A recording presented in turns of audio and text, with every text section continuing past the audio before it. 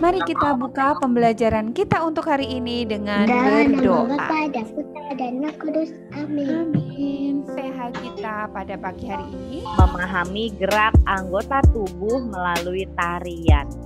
Nomor satu, sesuai dengan gerakan yang mana? Ih, gampang ya. Nah, sekarang sudah ada jawabannya yang tepat. Kalau pola bilangannya bertambah tiga, maka sekarang kita mau belajar PJOK dan kakinya rapat. Sekarang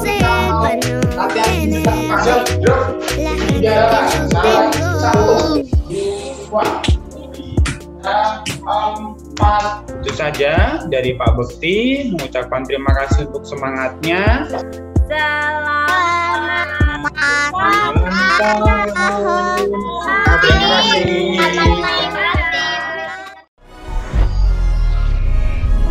akan awali dengan berdoa. Tuhan Yesus kami mau belajar berkatilah kami supaya Hari ini kita akan memulai materi sampai tidak jatuh ke depan atau ke belakang. Bisa 10 detik, bisa 15 detik. Up. nyemes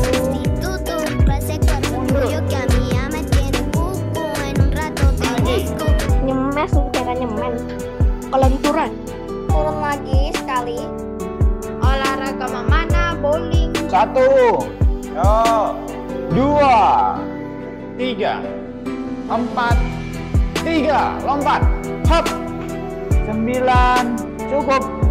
Baik, mungkin itu saja dari Pak Bekti untuk hari ini. Selamat siang dan selamat beristirahat. Dadah. terima kasih Pak Bekti.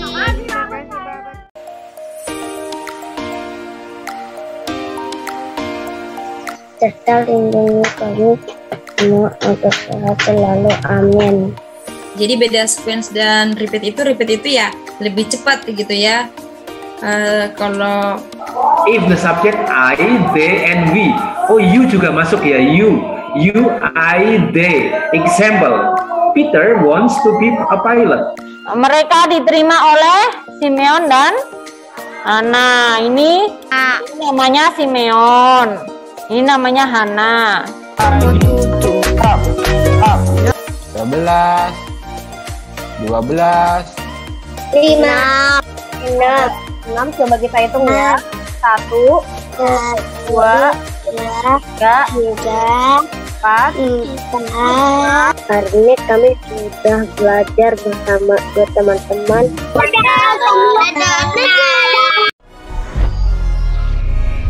Selamat pagi semuanya. Silakan Cleo. dalam nama Bapa dan Putra dan Roh Kudus amin Oke, boleh dibuka mic-nya bagi yang bisa menebak ini.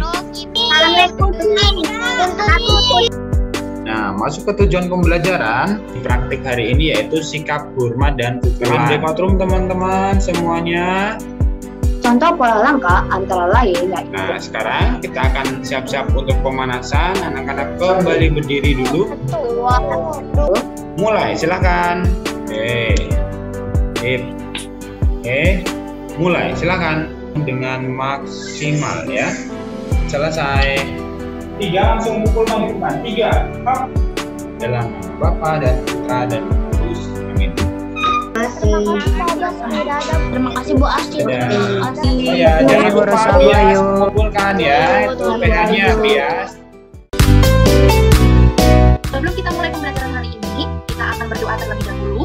Bapak dan Putra dan Kudus amin sebentar kami mau belajar berkati kami dan guru-guru kami terima kasih Tuhan Yesus Oke, kita masuk materi. Yesus memberi makan 5.000 orang. Kira-kira ini gambar apa saja ya? berbagi makanan Peristiwanya Yesus memberi makan 5.000 orang itu kisahnya awalnya gimana ya? setelah Yesus selesai mengajar orang-orangnya kelaparan terus Yesus hanya punya lima roti dan dua ikan Yesus memotong-motong lalu memberkati roti dan dua ikan itu lalu menjadi banyak dan dibagi-bagikan ke lima ribu orang Ketika Yesus mendarat, ia melihat sejumlah besar orang banyak. Apa yang terjadi setelah Yesus memberi makan banyak orang? orang-orang berterima kasih pada Yesus Untuk hari ini kita sudah masuk di tema 4 ya menghabiskan makanan yang sudah diambil. kewajiban Nah, berarti tadi kalimat saran itu kalimat yang yang diberinya pendapat atau bukan selalu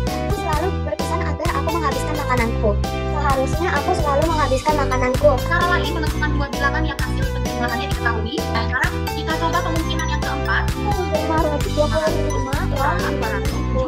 700. Kurangi berapa supaya hasil yang 400? Ya. Baik, terima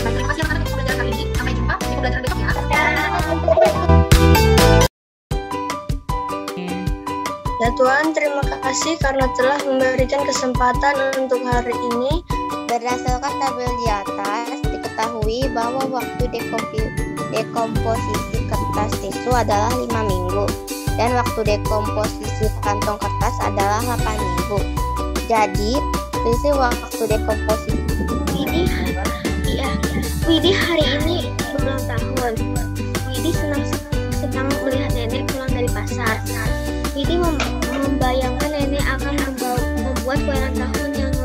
Oke, sekarang kita posisikan satu kaki kanan di depan, satu kaki di eh, kaki kiri di belakang, satu lutut kanan, kaki kanan ditekuk.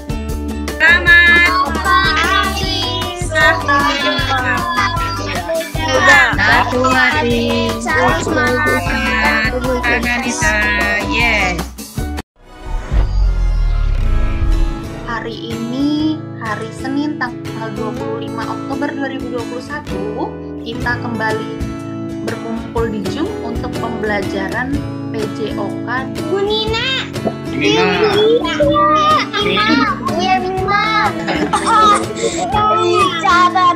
yang langsung membahas mengenai unsur-unsur kebugaran jasmani. Ketepatan atau kurasi adalah Solo sé que tu vida yo la quiero en la mía. tidak terserang penyakit.